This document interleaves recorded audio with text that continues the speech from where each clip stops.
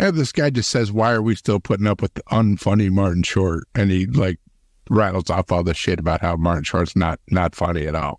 He doesn't understand that Martin Short's humor is like roast type humor.